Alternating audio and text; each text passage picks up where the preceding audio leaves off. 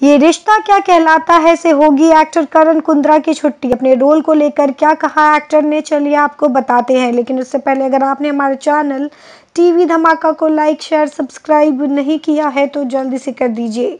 Bell icon को भी press कर दीजिए, ताकि सारी नोटिफिकेशन सबसे पहले आपको यहाँ पर मिल जाए और आप एंटरटेन हो पाए।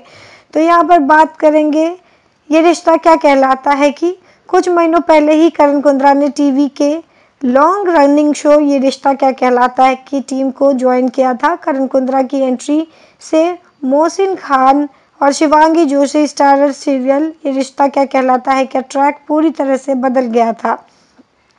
करण कुंद्रा के फैंस के लिए अब बुरी खबर सामने आ रही है। जी हाँ सीरियल जल्द से जल्द करण कुंद्रा का पत्ता साफ़ होने वाला है। ये रिश्ता क्या कहलाता है कि करंट ट्रैक में दिखाया जा रहा है कि सीरत और रणवीर का एक्सीडेंट हो चुका है और जल्द ही रणवीर की बीमारी का भी सच सबके सामने आ जाएगा। कुल मिलाकर मेकर्स कहानी को ऐसे मोड़ पर लेकर जा रहे हैं जहाँ पर करण के किरदार को खत्म किया जा सके। सीरियल से जुड़े एक सूत्र ने बताया है कि ये शुरुआत से ही करण कुंद्रा का कैमियो ही था। उनका किरदार काफ़ी दिलचस्प है। करण कुंद्रा ऐसे रोल को पसंद करते हैं और उन्हें पता था कि उनका ट्रैक खत्म होने जा रहा है। अब ये देखना होगा कि मेकर्स उनके किरदार को मार देंगे या फिर ऐसा भी हो सकता है कि ऐसा ना हो। ऐसे में उनके किरदार की वापसी के भी ज़्यादा चांसेस होंगे। करण कुंद्रा की एंट्री के बाद से ही कार्तिक सीरत और रणवीर के लव ट्रायंगल पर फोकस किया जा रहा है।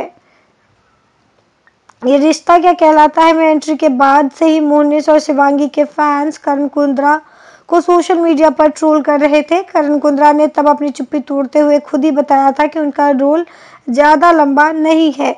फ़िलहाल के लिए कमेंट बॉक्स में बताइए कि आप ये रिश्ता क्या कहलाता है कि अपकमिंग एपिसोड को देखने के लिए कितने एक्साइटेड हैं। और तमाम टीवी सीरियल गॉसिप के लिए देखते रहिए टीवी धमाका। क्या कहना चाहेंगे पूरे मामले को लेकर? ज़रूर बताइए।